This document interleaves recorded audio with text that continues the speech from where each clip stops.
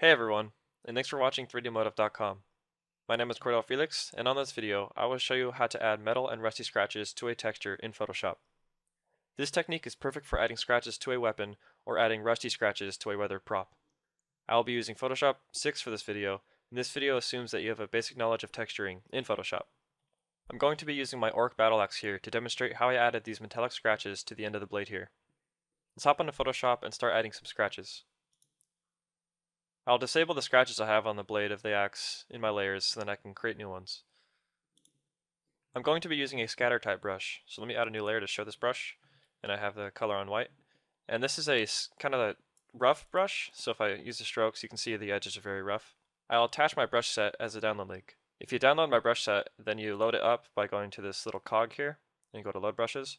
You'll see that at the very bottom I have this little square brush, and the default size is 3.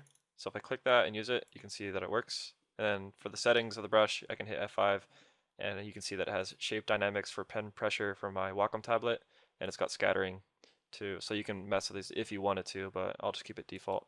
So yeah. When I use this brush, I like to have it at about at the size of about uh, one or two. So if I use the brackets, I can change this. I'm going to keep it at two for this video. And I like the opacity to be at 60 or 55, one of those. That way when I do the brush strokes, uh, I can I can determine if I want to make them show more just by overlaying on top of the same one. And using the pen pressure with a Wacom tablet, I can make a lot of these scratches really come to life. You can see the results look nice.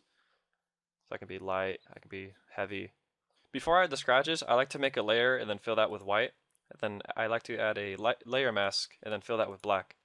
That way when I bring my scratches in, I can use the white color to bring the scratches in and then erase the scratches with the color black.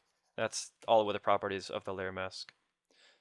So I'll, this is how I like to add my scratches. It's a lot easier to do other than using the regular brush on a, on a layer and then using just a hard eraser on this because maybe I could use this effect, or let me go to the layer mask.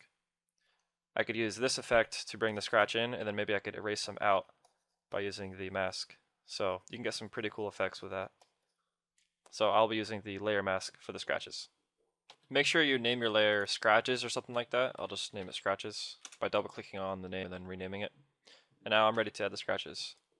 So make sure I'm on top of the mask.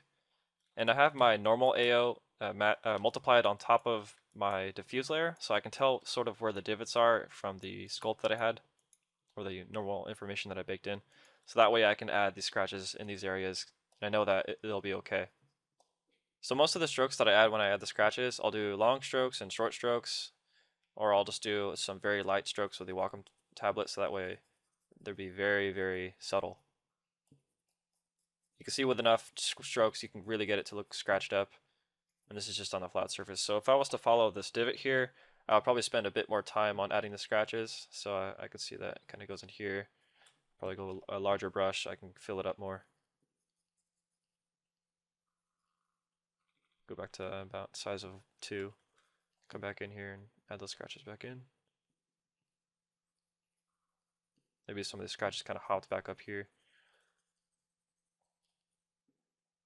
And this is very, very overdoing it because you can see how bright this white is. Maybe afterwards I'll bring this opacity down a lot and then I'll do the rest with the specular but this is just for this video. So really pay attention to how your strokes are. You don't want to do too many of stuff like this. That's just not realistic. You want to do some some fat, some very short, some that climb up like that. You know, scratches are very random. I've done a lot of scratch studying, and if anything looks a little wonky, I can just use my black brush and erase some of these parts. This end got a little bit too fat. I can even turn this into something that I could work with. So let me fill that up a bit. Go to my black brush and then maybe bring the opacity up a little bit so it raises a little higher. I want to go to a brush size of 1, kind of come in, actually let's go back to 2, and come back in here and erase some of that out.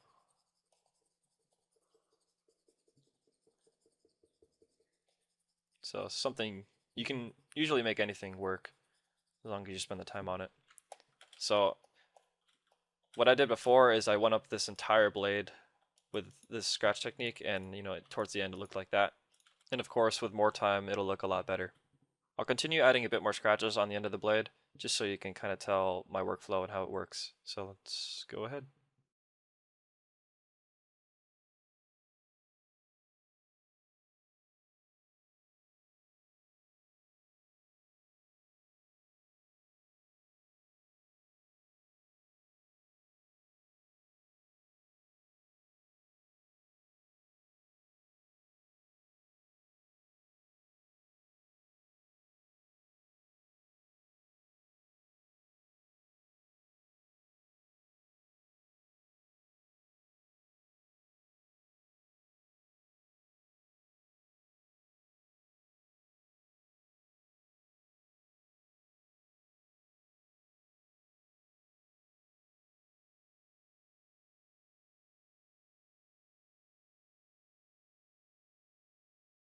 It's nice to also do some like random scratches around a whole surface. So if I go to a very small brush, uh, like size of one, and I just do a couple th things like this, I'll just do a bunch of those, just very long strokes.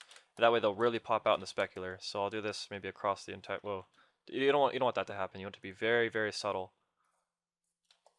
Oh, sometimes that happens too. Just control Z those out. See that there's a bunch of them already in, in the surface, mostly because of the sculpt. But these things really pop out in the specular. And that's what I want to happen.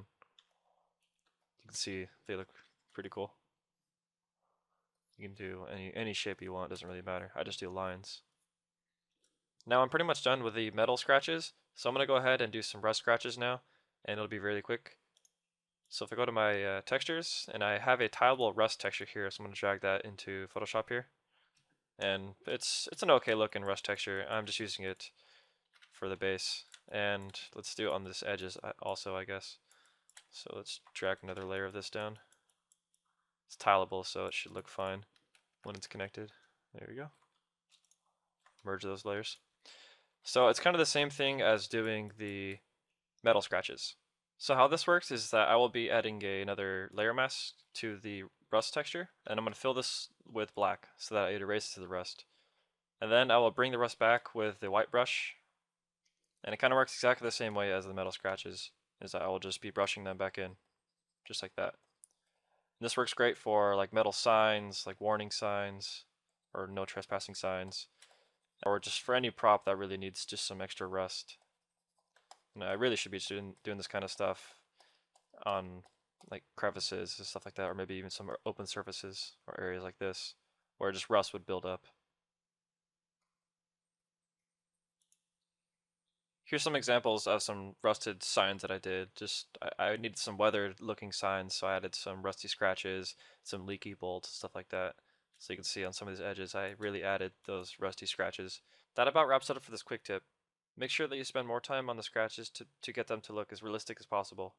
You don't want any weird looking scratches in there. My name is Cordell Felix, and thank you again for watching 3dmotive.com.